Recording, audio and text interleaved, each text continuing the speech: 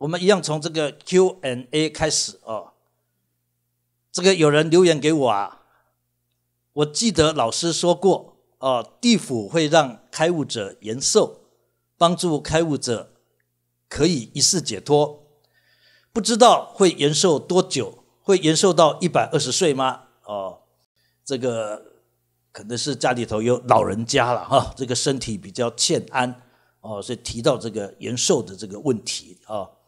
那么，确实我们过去有跟大家提过，这个我们佛门呐，哦，除了禅宗之外，净土宗也是很崇尚一世解脱的，因为这个禅宗和净土宗有一个看法，哦，当然禅宗又分成北派、南派了，哦，我们说的是顿顿悟的这个禅宗，哦，大家是比较认为。你在轮回道里头风险很高了，风险很高，这个未必能够直遇正法。那么直遇正法之后，生活中的压力、牵引、诱惑很多，你很可能修行二三十年，别说二三十年，很可能终身都没有成就，有可能。所以呢，净土宗或者是禅宗啊。都比较崇尚这个一世解脱，设法帮助有心追求一世解脱的人能够如愿以偿，所以这个进入了一个天人合作的关系里头。那么到底要延寿多久？这个还有会不会延寿到一百二十岁到这么老？这个这个我们来看看往下啊。虽然哦已经领悟了本来成佛的真理，可是有几种情况还是不太可能延寿。这个我们必须要讲实话。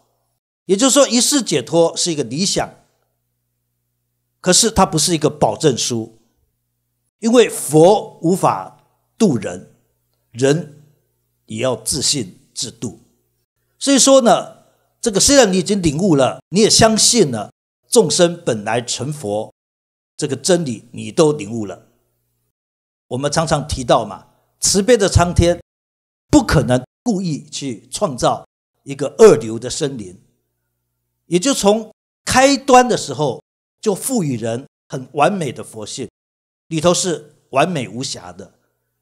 我们过去常常谈到这个观点，假设你也信，你也相信慈悲的苍天，如同我们很多有爱心的父母一样。不可能故意要把孩子生的有残缺、有毛病，不可能的。所以这个就是要体解你自己身上有很圆满的佛性。所以开悟这件事情很重要，因为你能够体解到你身上有圆满的佛性，跟诸佛等差无二，因此你才有可能向内去求，而不至于。搞成心外求法，我们过去也常常提到，不是说心外求法不对，也不是说佛菩萨不愿意帮人，他们愿意帮人，你也可以心外求法。可是你总不能一千年、一万年、一亿年，永远都在依靠佛菩萨的加持。那你自己什么时候长大呢？你什么时候？可以把你的佛性拿出来运用呢？佛性不在远方，就在你的身上。请问你为何不用它？你为何一直要去依靠外面的佛菩萨？他们愿意帮你，毫无疑问，他们是慈悲的。可是他们也同时希望每一个众生能够开悟到你自己身上就有圆满的佛性嘛？好，假设你已经开悟了。还有几种情况可能不会延寿，我们往下看。我们来看哈，这个叫可能不延寿。我们是拿了一个这个数学方面的图，或者是理财投资的图。各位来看，假设这个人他的修为就是这样起起伏伏的，可能花了五年爬到第一个高峰，结果第一个高峰又遇到一些事情，被勾引诱惑又掉下来。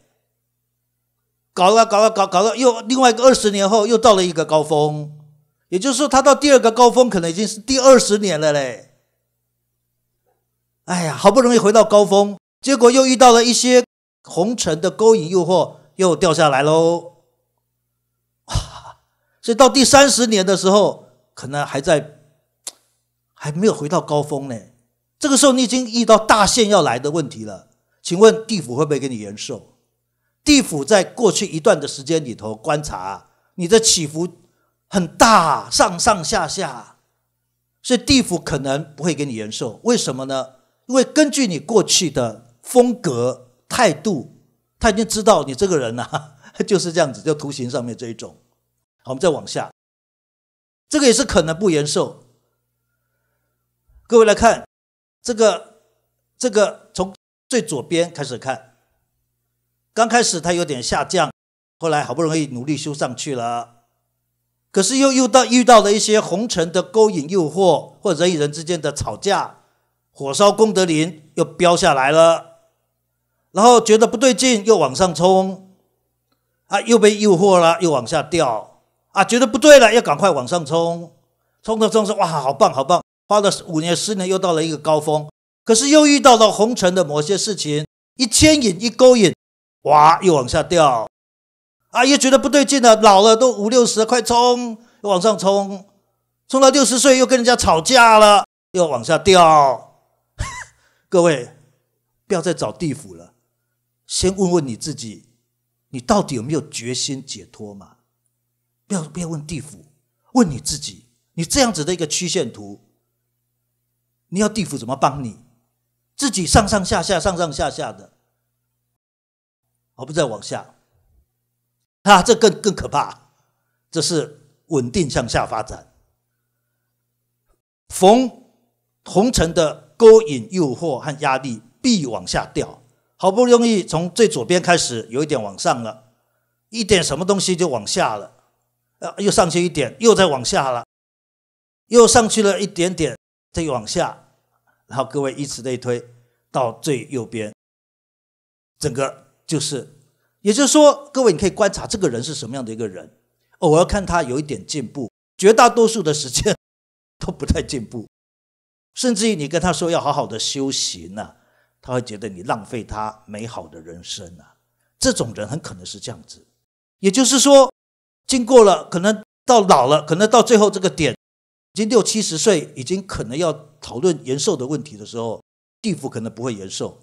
还是那句老话，你问地府能不能延寿，应该问问你自己，你到底有没有心一世解脱？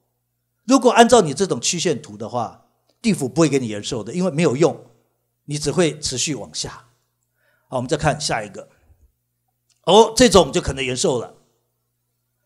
他从认识了解脱心法之后，就开始认真的做定课修行。各位来看这个，先看这个浅色的线，他就慢慢的上去了，好，慢慢的上去，然后有点挫折，有点下来，可是他不让他自己下来太多，立刻上去。各位来看，又冲到一个高峰，他又一点诱惑，又掉下来了，可是他不允许自己掉的太多，马上冲上去，又一样掉下来一点点，马上冲，又掉下来一大段，不行。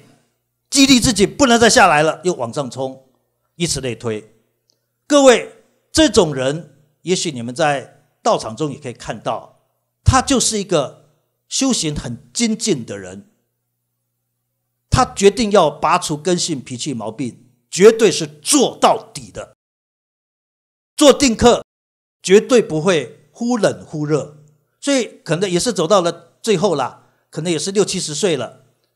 或或者是更老了，这个时候觉得自己还没证阿罗汉，就问问苍天，哎，有没有机会延寿？各位，这种情况我们说是可能延寿。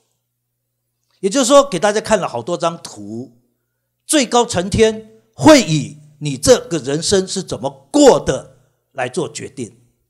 如果你的人生再往上看，你看这个这个上上下下，这个这个地府就不必再给你延寿。为什么不必延寿？因为你可能也不会上来，而且各位要了解，我们会来人间的都是有业障的，你是有很多冤亲债主会找你算账的。有时候你自己看看你的人生，你先不要去幻想你未来会多好，你先看看你过去的几十年过得怎么样。是不是起起伏伏的？你这个时候还想不通，还在这边修行也是起起伏伏的。那这样子，人家当然不会给你延寿，因为冤亲债主会指控啊。各位要了解，最高层天办事要非常的公平，他不只是爱你，他也要公正的对待你曾经伤害的冤亲债主。再往上看，像这种的，这个都不可能嘛。哦，都起起伏伏的。好，我们往回到文字稿下。好，这个我们来看，有几种情况啊，哈，你就可能不要谈这个 会会这个延寿。我刚刚看路线图，大家就看得很清楚了啦。你可以看看你是属于哪一种人。好，第一个是不认真修行的人。哎呀，请他做一个定课。很可能他都会觉得我们在浪费他的时间呐，哎，那这种情况，或者是请他来出席灵修会，就好像在破坏他的人生一样。如果有这种观念的话，这个不可能啊！你真的不会一世解脱。所以啊，这个天智被问这个问题，我真的很感谢他，他挑起了一个很重要的话题。我们过去正确实谈到为开悟者延寿，可是有太多的例外，我们也成立了快十年了嘛。这十年中，大家可以看到，有很多人真的不认真修行，请他出席，甚至请他祷告，他都很生气的。所以，这个这个怎么可能？我们去兑现我们创办的时候跟大家谈的那个延寿的那一张支票，怎么兑现？然后第二个，可能他有在修行，可是他不愿意蜕变。也就是修行的十年、二十年，老毛病还是一样啊。这个大家自己应该都心里有数，每个人自己心里有数，老毛病都一样啊，都改不了啊。这个就是一个危机了，这是一个危机。还有第三个，时常害人，这个也是我们天界之舟在做解脱教育的时候很重要的一个指标，就是不可害人。我们一再的强调这个点，为什么我们要一再强调？因为它会有反作用力，你你害人一定会回到你的头上。各位，你不要不相信因果，它一定会回来，一定会回来。所以一回来之后你就完蛋了嘛，因为你被你自己干掉。所谓因果法则，就是你在舞台上面，人生的舞台上，你一定会遇到你自己。也许你觉得那件事情不重要，所以你就很草率的去面对。我们常常会这样，不管是家庭的事、办公室的事、道场的事，有的时候我们会觉得这个不重要啊，我就随便草草率率的去面对。可是各位，当你明年后年你有事的时候，你周围的朋友可能也会觉得啊，你那个事对我来讲不重要，他也不理你，你知道吗？你的不重要，你的轻率，有一天会回到你自己的身上。也许可能你在办公室，在或当学生，或在家庭各个地方，你常常觉得这个事，嗯，我觉得不重要啊，关我什么事啊？各位，你就要确定呢，你未来几十年的人生，当你需要援手的时候，你周围的朋友不会跟你说，嗯，我觉得那个事也不重要啊，关我什么事啊？有没有可能你会碰到？我跟你讲，有可能的，因果法则。叫做原版复制，所以说我们常常提醒，这是我们在修行过程中要一再的提醒的。因为有时候很多人为什么修了二三十年都没有进步，很多地方就是因为他被自己的反作用力弄掉了，你们知道吗？反作用力一来的时候，你会很烦躁，你知道吗？你会很烦，你怎么修一真法界？反作用力一来的时候，你很烦，很气。很无助，心很乱，那这怎么可能一世解脱？所以你们最聪明的就是不要让反作用力扑上你自己。当然，如果是属于吉祥的反作用力，那欢迎；那你那个都不吉祥的反作用力，你要去避免。比如说，你常常行善，你常常这个这个这个帮助周围的朋友，那反作用力是什么？就是很多人会帮你嘛，那这个很好啊。这个很好，这个很好，所以反作用力你自己要去掌握了。那个害人的事，你一你在做的同时，你一定要去想呢，这件事也会回到你头上。各位，你在做之前，你先想这个事会掉到你头上哦，看你还敢不敢做。所以短短的一生，你单单反作用力就障碍你了嘛。所以为什么刚刚的曲线会往下？搞不好那个就是反作用力回来。你在那个时间点，你很烦、很乱、很气，所以火烧功德林就往下掉了嘛。第四个，这个就牵涉到前世了，有障碍人家修行的业障。这个地方我们也提醒过大家很多次：宁动千江水，勿扰道人心。你不要看人家在修行，你就设法把它挡掉。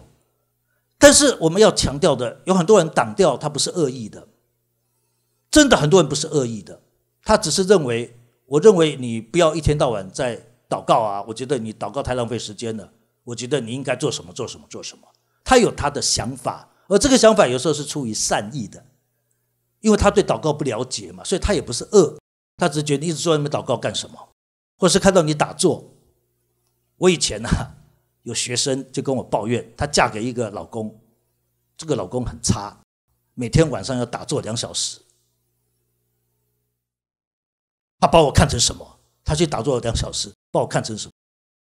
我就跟学生说啊，总比他到外面去混两小时好啊！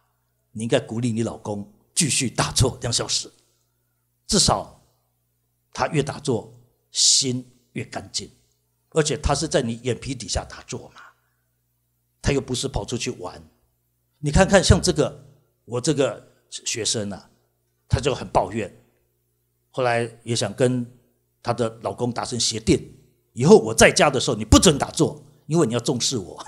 各位来看，这算不算是障碍人修行呢？这算不算呢？我们也不敢说这一定算。可是如果这个他先生很疼爱她，因此可能就把打坐这个就就停掉了，就停了，因为我要爱你嘛。你在家的时候，我就我就再也不打坐了，就一直陪着你，聊天也好，散步也好，看电视也可以，我爱你嘛，所以就顺着你。各位，这是很甜蜜的一个画面。可是您认为这算不算是在障碍人家的修行呢？六道轮回苦就苦在这里，因为你觉得很寂寞，他又在那边打坐，你很气呀。所以你难免会为自己说些话嘛？你一直在那边打坐，一直在那边祷告干什么？不为什么不陪我？可是你不知道，你的那个他今生可能一世解脱的，结果因为陪你，他又进入了轮回道。您知道吗？假定地府仔细的审判的结果，这个人本来是有机会一世解脱的，因为你的。这样子的要求，他也配合你，因此他就没有一世解脱了。那这件事情就会构成一个我们第四点所说的术士的业障。可是大家不要太草率的去判断，不要太草率的判断，这个就是障碍道人。不要草率的判断。我们地府在做判断的时候也是很慎重的，他会去查是不是因为基于你的要求，他停止了祷告，停止了打坐。哎，陪你，结果后来没有没有一世解脱，进入轮回道。那这个到这个程度才叫做构成，所以我们也不要太快就说你这是障碍人家的修行。总之啊，假设你有这荧幕上面这这四件事情，你非常有可能哦没有办法帮你延寿。好，我们再往下。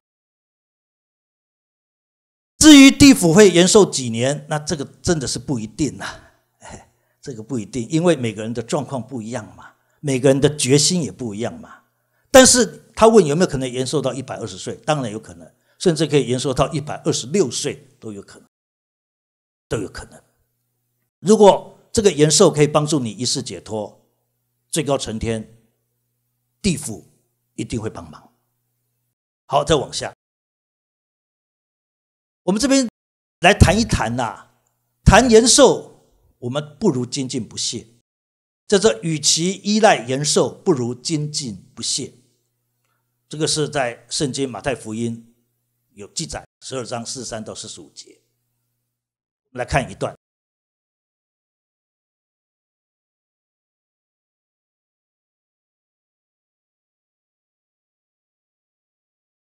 乌鬼离了人身，就在无水之地过来过去，寻寻求安歇之处，却寻不着。各位，这个这个耶稣啊，他在讲这段的时候，他是在讨论有一些他的门生弟子的一些现象，也就是说，他帮一些门生把他身上的鬼赶出去了，赶出去了，赶出去了之后呢，这个鬼就在外面游荡。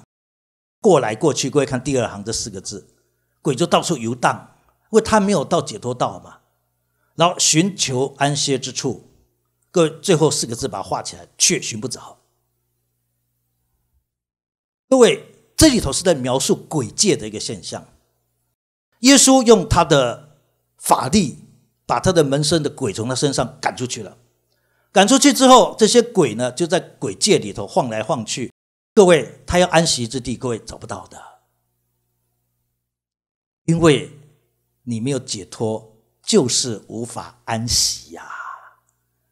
地球上没有永远的安息的，各位，你看鬼界，这是耶稣跟大家讲的话，寻不着啊。所以鬼为什么喜欢附在人的身体里头？因为他以前有身体嘛，他到处跑，他不如回到你的体内。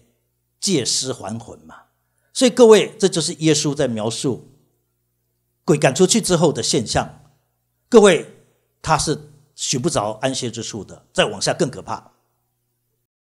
于是就说这个鬼说啊，我要回到我所出来的屋里去。耶稣不是把他赶出去了吗？可是各位，请把这两个字画起来，回到，回到。所以，为什么我们的驱魔祷告要变成定课？因为你在鬼界来看，你就知道他想要回去你的身上。各位，鬼都想回去，为什么？各位了解，鬼界的生活不好，鬼界的生活品质不好，那不是一个安歇之地。能够找到一个人的肉体住进去，那是一种高级的享受啊。所以他想要回去。到了，各位来看第三行，到了，回到这个人的身边一看，就看见里面空闲这两个字先画起来，空闲。好，打扫干净，修饰好了，而看里头，哇，这个以前他住的时候啊，把这个人的内心世界搞得乱七八糟的，乌烟瘴气的，所以这个人他就找耶稣求救嘛。结果他回来看，哦，打扫干净，修饰好了，哇，很棒啊。可是有个缺点，各位看这两个字“空闲”。耶稣的意思是说，他这个门生停止修行了，哈 哈停止修行了，停止驱魔，停止祷告了，开始又走原来的生活的路了，空闲了嘛？好，往下看，便去定带了七个比自己更恶的鬼来，都进去住在那里。把这个七个把它画起来，另外带着七个，这个七个，各位来看，各位你要知道，这些没有解脱的鬼啊，心地很坏的。你那个时候找耶稣把他赶出去，他以后会找人来 K 你的，你要知道，这个不是我讲的，各位去查圣经，这是圣经的记载，也就是说。各位要了解，鬼在你的身上已经做主为王了。结果你找一个高手，像耶稣这种正道的大师，把他轰出去。轰出去以后，他当然很气啊！你找人弄我啊！所以他就找七个人来报仇啊！你知道吗？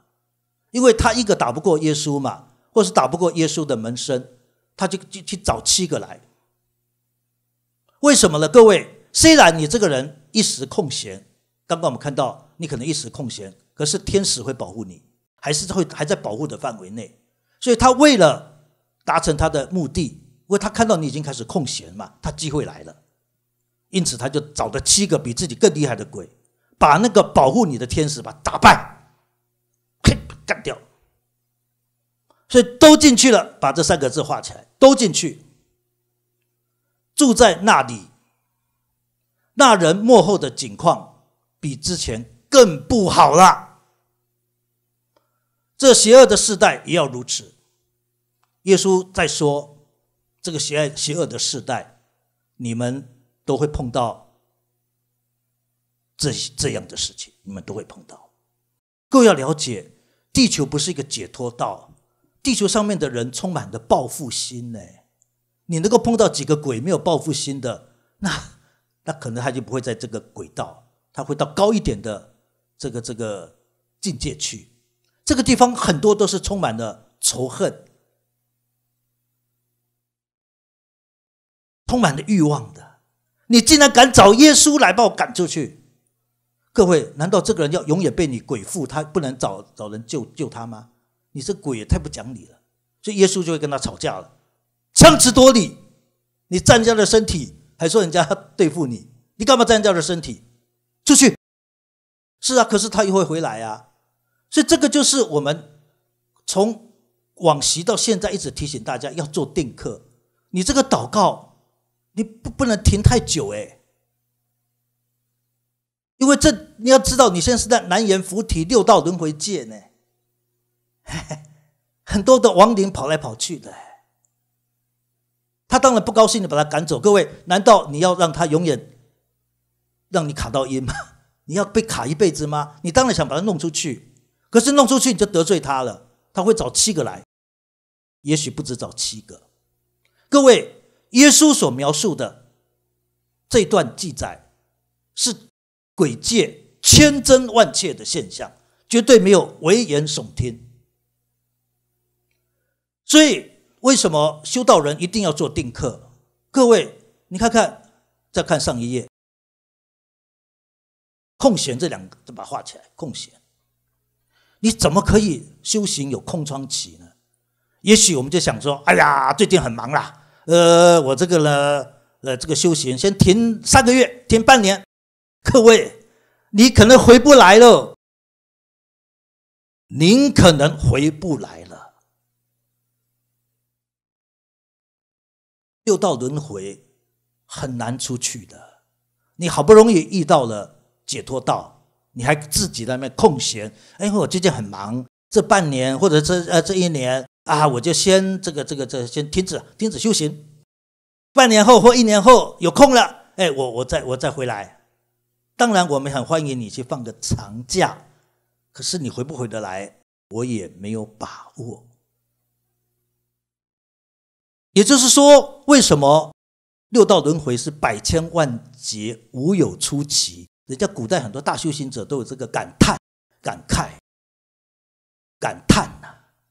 感慨呀，就是因为他们实物上发现很奇怪，空闲一阵子之后要再回来，有时候未必回得来哦。为什么未必回得来？因为你已经被鬼算准你的毛病了，他在吃定你。而这个时候最聪明的事情，就是你一纵然你要空闲，要放松，要松懈，不要松懈太久。我觉得三天就够了。古人不是说三日不读书，面目可憎吗？我是奉劝大家，你真的要空闲，顶多三天就够了。你看基督教啊，在犹太教时时代就要求七天只能工作六天，第七天要回到教会守安息日。其实这是在保护你们呢，因为这里头不是天国，这里不是西方极乐世界，各位要看清楚，这里是南阎浮提。你会被红尘渗透、洗掉，而不知道你会被洗掉，它逐渐把你洗掉。所以教会才会希望大家第七天一定要回教会来，回会所里头来，接受这个属灵的洗礼。他们的用意在这里的，用意在这里。好，我们再往下看。好。这个 Q&A 回答完了，接下来我们继续进入我们的公案说明，继续谈向上一路。我们就提到向上一路是我们这个佛门修行的最高境界。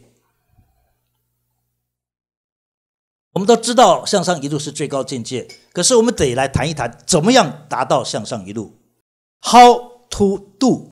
好，往下，如何修向上一路？如何修向上一路？各位必须走不二法门，把它画起来。必须走不二法门，把它画起来。我们这周讲一个实实战派的，我们知道向上一路很厉害了，半生岁月雪落无声，是向上一路的最高境界。可是问题是你怎么达到？各位，你只有一条路可以走，这条路叫做不二法门。不二不就是一吗？不二就是无双，无双就是一嘛，叫不二法门。所以要如何达到最高境界，一定要走不二法门，就是走一真法界。只有这条路，没有第二条路。如果你不相信一真法界是唯一的一条路，那就代表你的福报，福报你无法信受奉行，你福薄可惜呀，可惜。要修到向上一路，一定要得走这条路不二法门。那么耶稣说：“我就是道路，我就是真理，我就是真相，我就是生命。道路、真理、生命。若不借着我，没有人可以到父那边去。借着他什么呢？借着他传的也是不二法门。我们后面会有证明，证明耶稣也有传不二法门。”我们看今天能不能讲到耶稣的不二法。好，再往下。当中有给大家看过这个了。我们讲有的走的是色相，色色相，色是包含哪些呢？像尖端的科技、繁华的都市、高深的学问、美好的先进。各位，这先进都是属于色相进步的医学，有很多人。从这个地方要解决宇宙人生的问题，用科技来解决，用经济繁荣来解决，用学术，甚至有一些仙仙术修仙，还有医学来解决人生的问题。这叫做由色入手，我们叫色不异空，空不异色。有的是走这条路，很好，这个很好。再往下，有的是走这条路，空。色即是空，空即是色，真的是空啊！各位要打坐到这个纯粹的空啊！哎呀，不容易呀！不要说你尖端科技很困难，你要达到自空，达到飞翔飞飞向天的空，难呐，难呐！可是这两条路都。不对，要到向上一路，你不能走空，你也不能走色，就是有那条路。这两条路都都对，都对，但都不不就近。都对，但是不就近，够不到，够不到最深的那个点，你够不到。最深的那个点怎么上去？各位来看，往下这个图，我们上周也看过，一定要走一即一切。一切即一，不二法门啊！这两扇大门，空和色的门推开来，你会看到一条门缝，走这个一就走出去了。色和空都是你自己创造的东西。也许大家知道色界。这些不管医学啦，还是先进这些色界是人创造的，你相信？各位你知道吗？空也是你创造的哦，空也是你创造的。但是无论走多尖端的科技或多尖端的空，我们都很钦佩。可是我们要讲实话，它够不到最高境界，够不到。为什么空够不到？因为佛性是存在的，只是它无法被描述。你硬要空，那就跟它背道而驰了嘛。佛性它不是真的空，它只是无法被描述。它是具体存在，无色无相，无自无他。它不是没有哎，它有。所以你走空不对了嘛？那你走有为为什么又不对了呢？走有为什么又不对了呢？我们往下再看。过来看，你心乱如麻的时候，你的世界就是左边这个迷迷糊糊的世界，这叫做无明嘛，心中千头万绪啊。大家看右边，哎，离一越越追接近了，你这个相机对焦越来越好了，清楚啦。所以说，你一直在有的世界一直起心动念，你会像左边这个哦，你科技很高明，可是你还是找不到。回到天上的家的路哦，右边这个才找得到哦。问题是起心动念，就是他没有办法焦点，没办法对准那个一，他对不准，所以我们叫他叫无名。那在无名当中的人呐，也很顽固哦。各位别看左边这个模模糊糊哦，他自己认为很清楚哦，怎么会模糊呢？你看有蓝色啊，看还有大楼啊，怎么会模糊呢？他也会讲很模很清楚啊，怎么会模糊。你看过右边的以后，你会觉得他很清楚吗？你见过右边的，你再也不会说左边的清楚。你见佛的人，你再也不会爱红尘。你爱红尘，我很肯定的讲，你根本没有见佛。你见佛的人是右边的，你怎么会在这喜欢左边这个？硬要说左边这个很清楚啊，明明左边这个就蛮清楚的。各位，你不要跟他辩论，因为他说的很清楚，也是他所理解的清楚嘛。那就就就就顺着他算了。再往下看，我还不是一样？对焦一清楚之后，就看到不一样的东西了。本来你看看左边这个也会，他会说我很清楚啊，我明明就有看到有香蕉哦，中间那个东西不知道什么东西，呃，他故意的也说我看得很清楚，就是一种动物嘛。他也可以说很清楚啊，可是你看过右边这个，你就再也不会觉得左边清楚了。看过佛果的人，见着佛性的人，怎么还会爱慕转眼成空的红尘？你打死他，他也不会回头。这个就是有的时候会产生人与人之间的纠纷。有的人已经看到右边这么清楚了，有的人还看到左边而已。所以两个人看到的世界不一样，所以会有纠纷，你们知道吗？有人觉得已经在右边的这个会觉得左边的你不够，在左边这个还迷糊的会认为右边这个你太狂热。他说你太狂热了，为什么他觉得你太狂热？因为他的世界，他的内心里头没有办法感受到。你的内心世界，他感受不到啊！再往下，左边这个也是模模糊糊的，可是他说：“我就我很清楚啊，明明就是一个美女。”你再看右边这个，你就会知道哪一个比较美了。所以各位，修行的这个领域很容易造成人与人之间的误会。有的人已经修炼到一。一真法界这个意越越接近，所以他已经看的看到右边的图了。那个后左边那个还火候不够的，他只看到左边这个图，可是他就认为左边这个图已经够了，他认为够了，所以他不知道你在忙什么，你在忙什么，他不知道你在忙什么，他不知道，这就产生了很多的误会。各位，他在忙什么？你看过右边这个图以后？你还会认为左边这个生活是是良好的吗？再往上看，好，上一页，我们再看一下。你看过右边的，会觉得左边的生活是良好的吗？再往上看，你看到这个清楚的大楼，你会觉得左边这个大楼的生活，这种生活是正确良好的吗？你一定不会那么认为的。但是心灵的世界。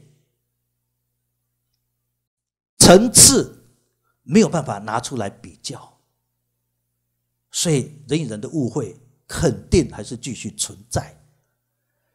可是啊，我们大家都还是要用最大的耐心、最大的诚恳来彼此沟通。再往下，好，我们现在就要进入为什么要一了。刚刚给大家看到，你对焦不清楚，就是模糊的世界。好，要怎么样进入一真法界？怎么样走不二法门？我们先来看深灿大师的信心名，这个是重量级的禅宗的文献，因为它很长，我就只摘录。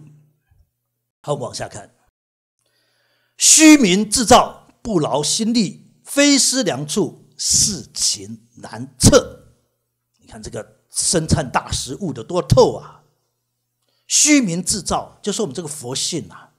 它是虚的，虚就是无法描述，无法找到它嘛。可是它却一直常放光芒，放长极光，或是放生命之光。虚名自造，不劳心力。你不需要去怎么样来修理一下这个佛性，让它的灯能够持续的照。那是要充电呢，还是通电？一百一十瓦的呢，还是两百二十瓦的？呃，要怎么弄呢？让佛性更亮？要怎么弄呢？呃，让它照得更远？要怎么样呢？让我的佛性更大、更强？各位不劳心力，不用你不用，不用不用。佛性它是制造，万古不灭的长极光。为什么佛性这么厉害？你用大脑永远想不透，你就一直在想：哎呀，这个长极光，你可能偶尔看到以后，哎呀，我要，哎呀，万一它灭了怎么办？哎，哎，给他台风来了，哎呦，万一我的佛性的灯灭了怎么办？台风会吹灭佛性的光吗？要赶快躲起来！你要问他，你为什么要躲起来？他不是躲风雨，我是怕他把我佛性的光吹灭。哎呀！不用想这些了，不劳心力。我们那盏心灯，万古以来从来不熄灭，它叫做虚名之照。佛光普照在人间呐，这么好的一件事，就看你信不信，看你信不信。好，再往下两行，非是两处，事情难测啊！各位，你以为修为到上圣的人是头脑很好，转得很快，很会筹算，很会计划？错啦，错啦！要真正的回到真如法界，必须是非思量。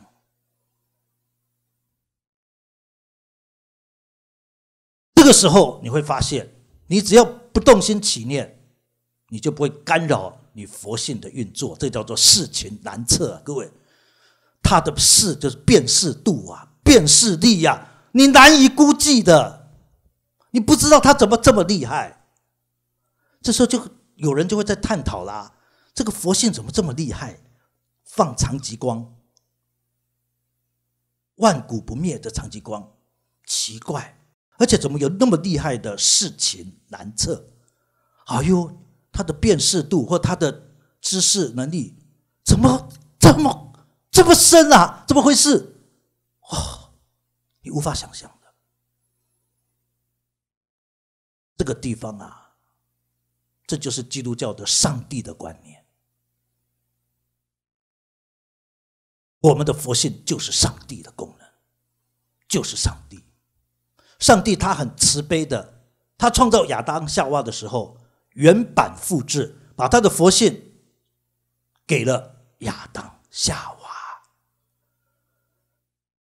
耶和华没有留一手，原版的把他的佛珠复制给亚当夏娃，所以亚当夏娃身上有跟耶和华上帝一模一样的一个佛性，或叫做神性。而这个力量就是上帝的力量，虚名制造，事情难测。现在的问题就是，我们怎么样要来帮助众生啊，找回自己身上的这个佛性？怎么样找回来？怎么找回来？这是一个问题。好，我们再往下看，真如法界无他无智，他这又在讲我们身上的这个佛性。他的和我的都一模一样，这叫做无他无智。所以人是平等的，人不应该骄傲。如果你真的悟得透透透，你会发现他的真如法界和我的真如法界平等无二，一模一样。这叫平等法，无他无智。好，再往下，要吉相应，为言不二。你很急着要正道吗？很急吗？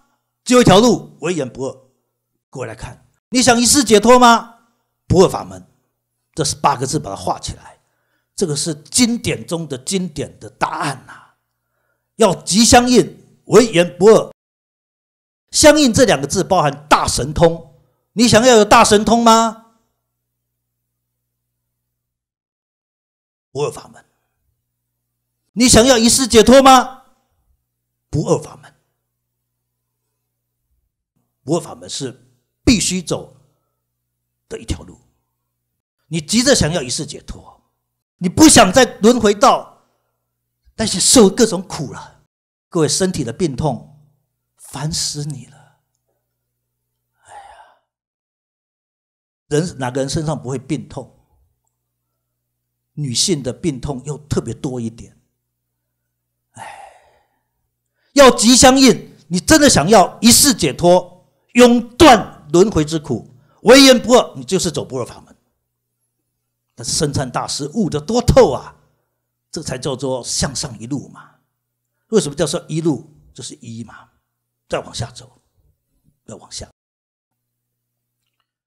有即是无，无即是有，也就是我们刚刚看到的色界的那些努力、高科技、高级的学术。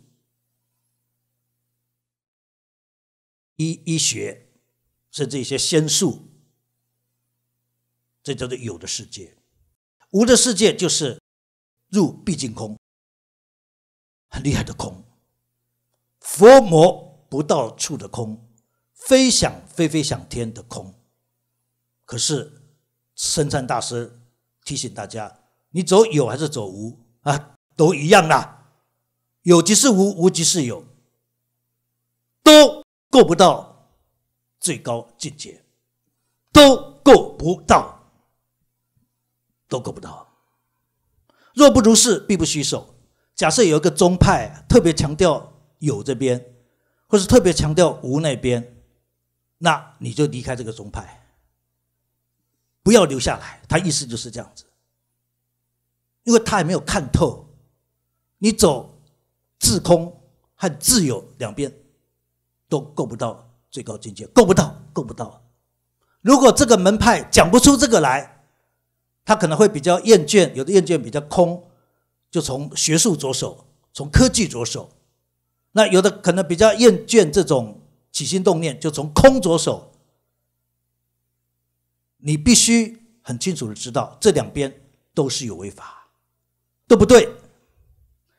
若不如是，必不虚守。如果你现在走的法门，偏有或偏空，太强调有或太强调空，不强调一啊，这个不用，你你就可以挥别这个团体了。但意思是这样子，不用守，必不虚守。人生时光有限，不要浪费时间。一边是静不下来，一边是太过分的空，有这边是静不下来嘛，所以你静不下来是毛病呢。那一边又是太静了，没有办法运用在社会上。那你你跟枯木、跟冷冻鱼虾有什么差异？冬眠的虫有什么差异？你为什么那么怕有？那有的这边为什么那么厌倦空？你们两边都有问题，应该是在空有当中自在来去啊，拿得起又放得下。我跟你讲，你要自在来去，唯有一条路，就是不二法门。再往下，一即一切，一切即一，但能如是，何虑不必呀？一即一切，你只要回到你的一里头，你只要回到很有效的回到你的一，你就能够从一的里头创造一切的可能性。就有人说修行浪费他的时间，我跟你讲，哎呀，哎呀，修行才是节省你的时间呢。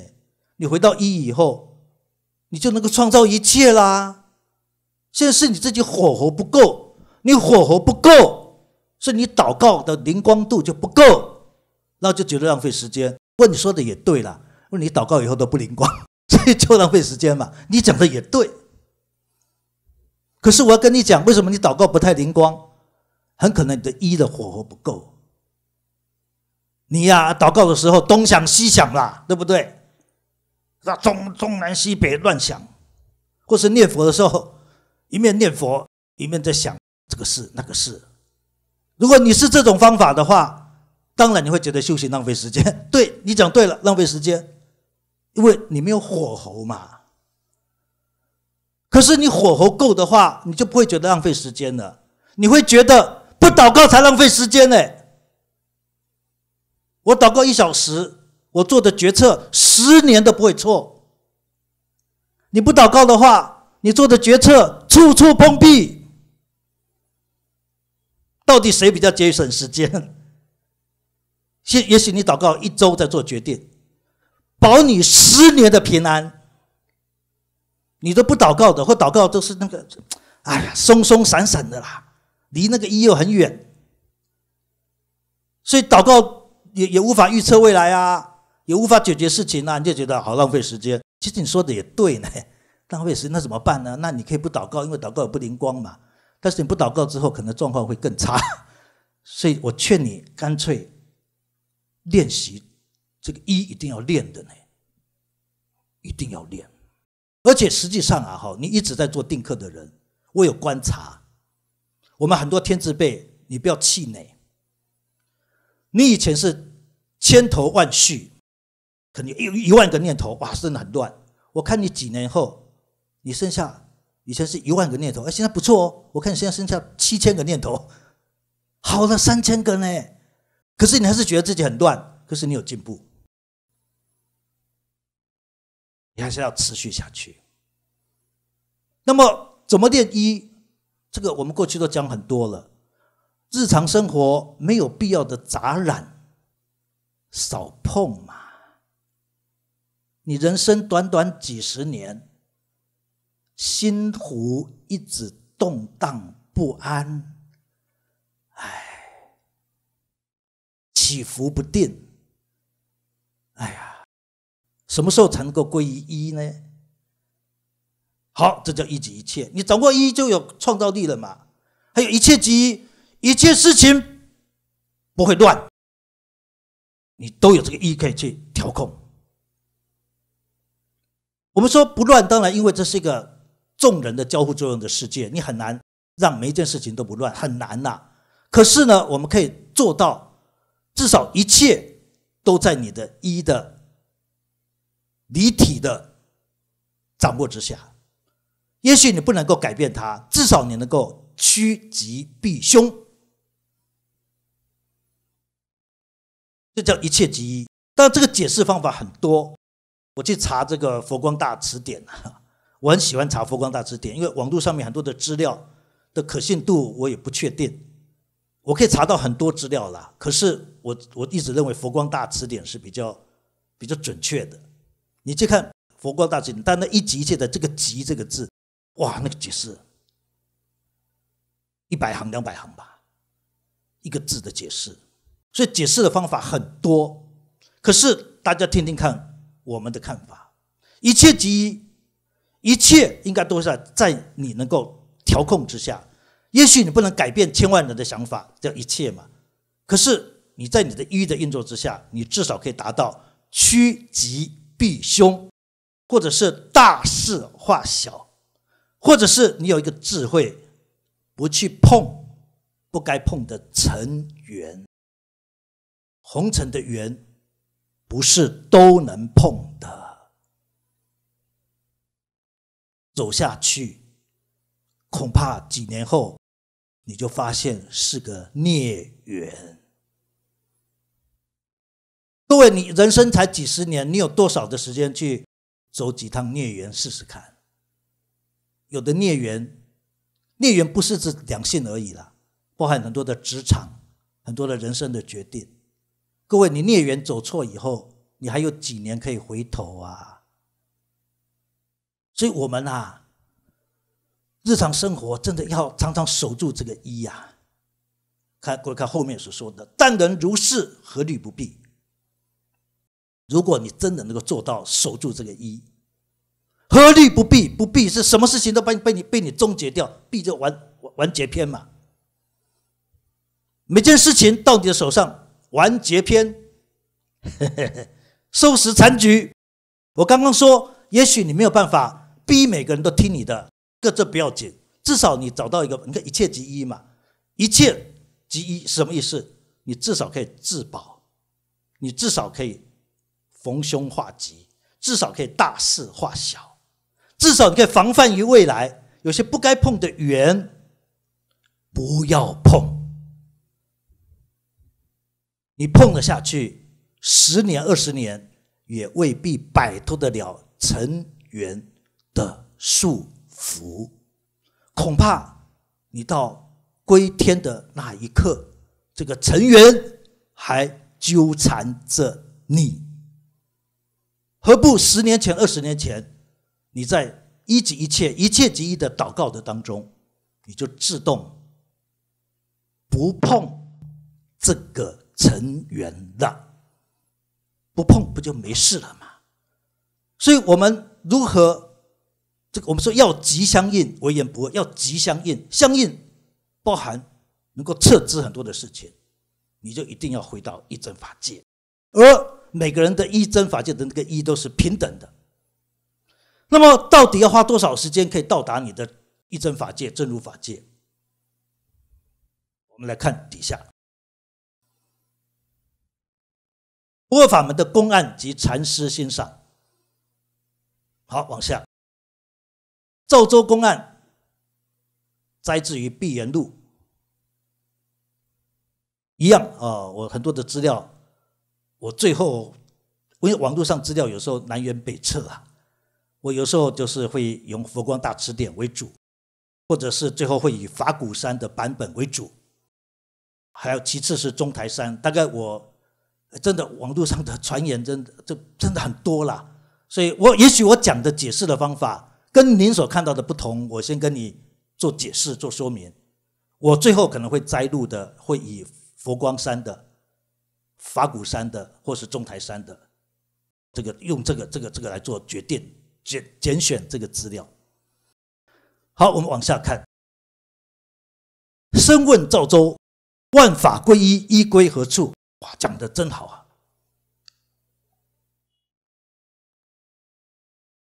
赵州大师一定也跟大家讲，我们要走一真法界。万念归一，万法归一。啊，归一了，一了，那一归何处？换句话讲，什么是真如法界？你归这个一是什么的一？什么是一真法界？什么是真如法界？各位，他没有办法被描述，你必须亲自去看一看。可是，它可以有一个呈现的方式。有个呈现的方式，各位现在先要要想哦，你先不要把这如法界想象成是一个岛，像个无忧岛那样子，你就做了一念以一念为船，到了无忧岛，然后就踏上无忧岛，然后就到了到了珍珠法界。你如果有这种想法，也可以，但是这个想法可能不太对。你可能以为真如法界，它就像或者是一个国土，我就搭着一念之舟，华呀华，这个一生当中就这一念嘛，华呀华华呀华，终于到达这个真如法界这个岛啦。然后我就把这一念丢掉喽，上岸就解脱到了。你有这个想法的话，想象力丰富，有意思。可是，你可以用这个想法来辅助你认识一真法界，认识真如法界。可是，你这个想法还不太对，因为你有这个想法，它也是有为法，对，它还在有为法里头。你自己把一真法界或是真如法界，把想象成它是一个岛，或是一座仙山，或是一个天国，我就坐着这一念，到达这个仙山的门岸边了，船把它放下来，我就走上去，耶，到了。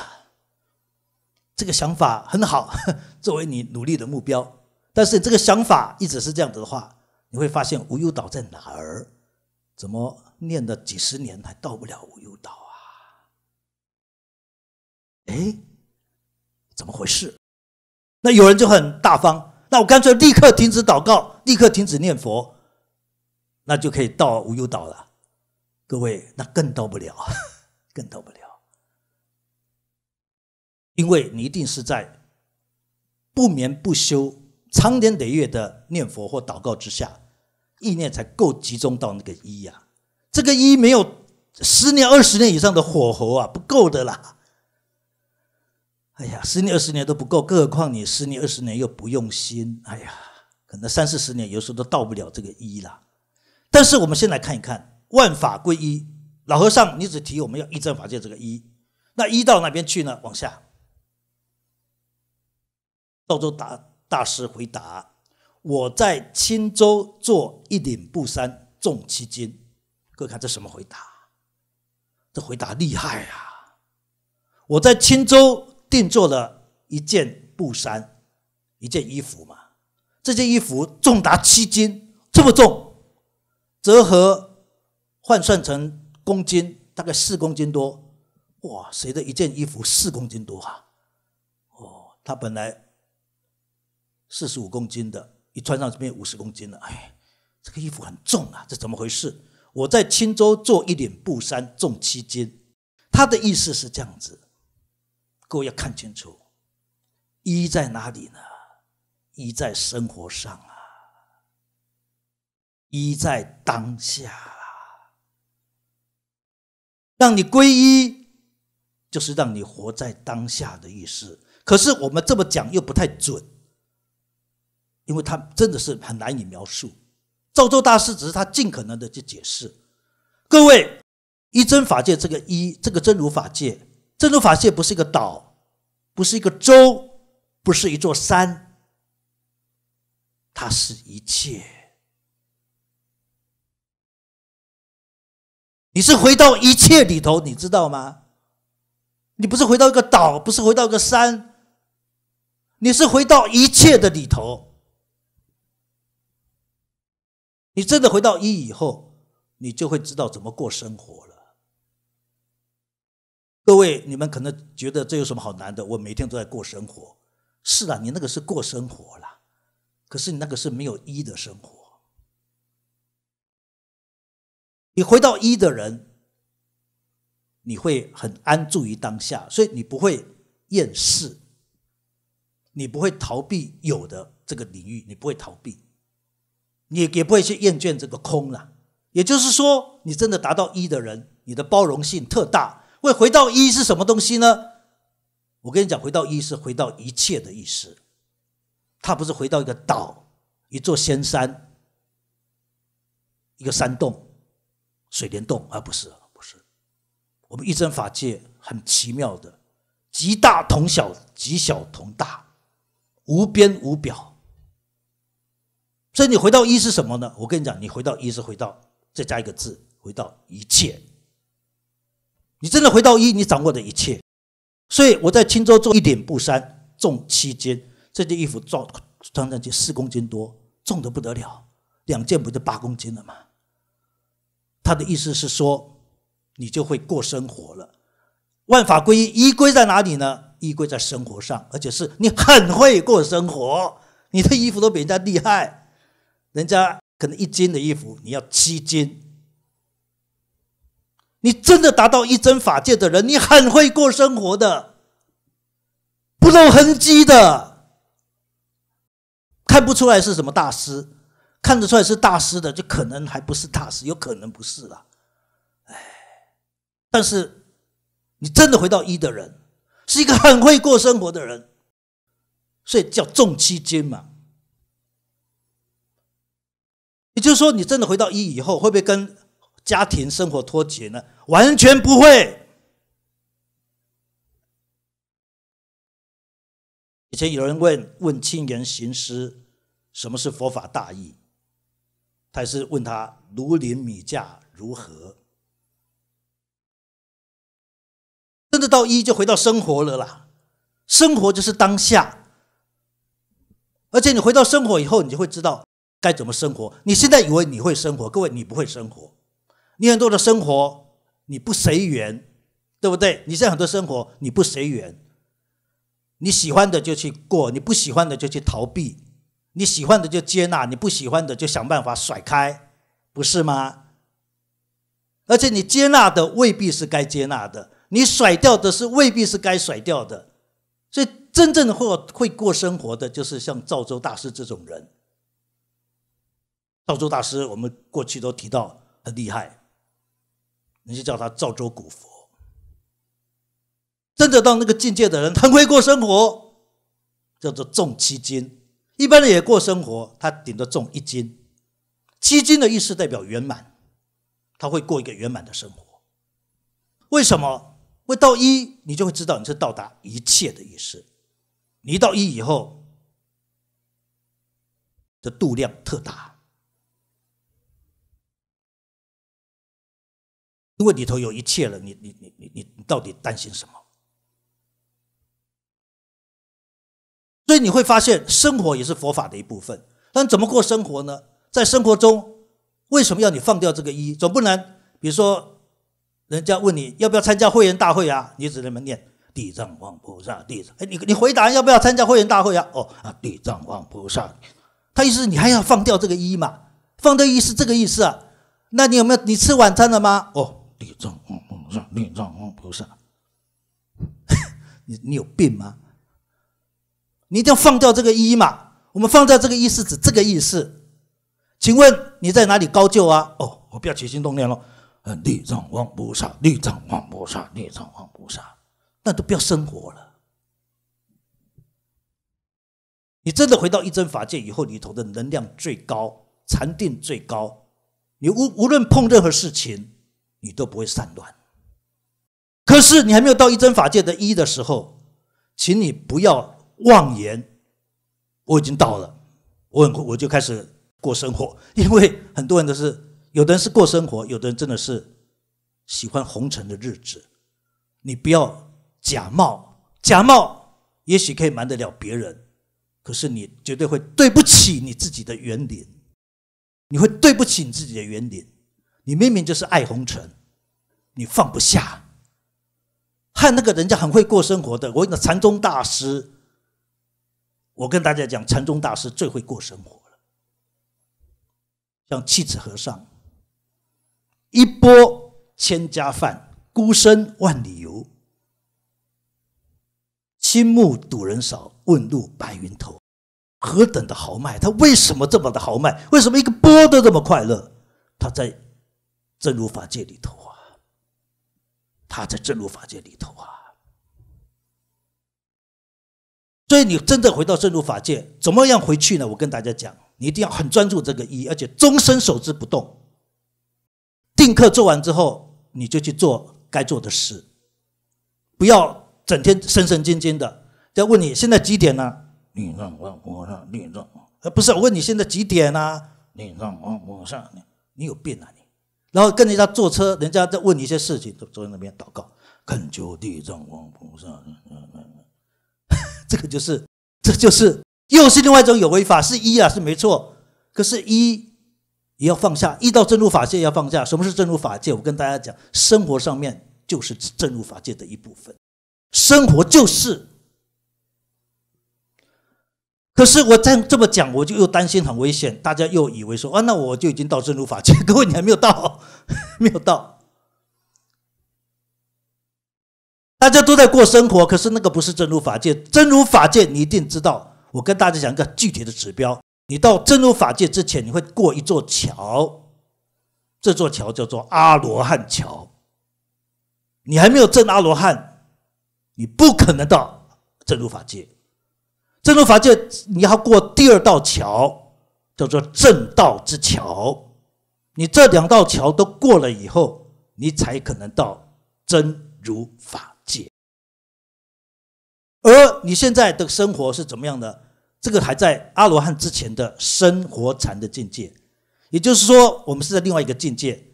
这个境界也是模仿一真法界的境界，这个是在模仿，要你们又顾得了生活，又顾得了修行，这叫生活禅。等你到一真法界，也就是说，你过了阿罗汉这一关，过了正道这一关之后，你会进入真如法界。那个时候，你就会不需要有什么特别的秘诀或法宝，你就很会过生活。而且，你不但很会过生活，你的心仍然维持一心不乱，如如不动。环境如何变化，你的心屹立不摇。八风如何吹你，你也不动。不过，我们不要等到正道之后才来过生活，现在就要过。我们现在就要模拟达到一真法界，所以我们禅宗做的很完整的一个规划，就是生活禅。请你生活和修行要平衡，你不能只侧重生活而忽略修行，你也不能只着重修行而忽略了生活。两个一定要平衡，而我也跟大家提醒过，生活和修行当中，你要做一个取舍。当这个生活起心动念太严重的时候，你要改一下你的生活内容，因为它让你起心动念太严重，你可能永远达不到真如法界哦。